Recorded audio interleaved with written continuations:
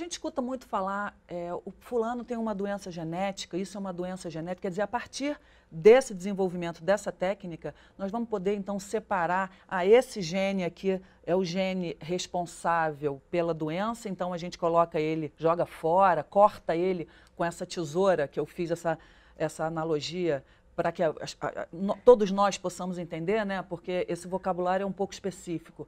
E aí, então, o ser humano ficaria só com a parte boa, quer dizer, contribuindo para o Parkinson, o Alzheimer, essas doenças Isso. que são verdadeiros mistérios para a gente?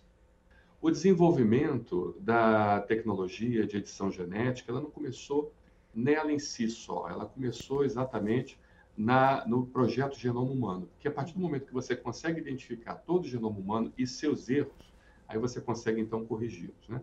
Mas a técnica, ela é realmente extremamente revolucionária porque ela consegue então retirar aquela porção ou acrescentar o que está faltando para fazer com que aquele material genético ele seja lido corretamente e produza aquelas proteínas faltantes ou aquelas proteínas que estariam também em excesso, causando doenças, causando patologias nos pacientes. A, a diferença dessa técnica para as outras que já existiam é porque ela pode ser reprogramada.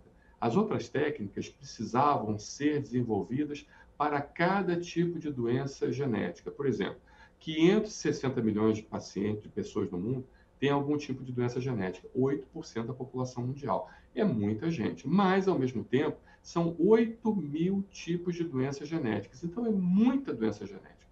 E você tinha que desenvolver uma técnica específica de edição genética para tratar cada um desses 8 mil tipos de doença genética. Essa técnica não, essa técnica ela é reprogramada.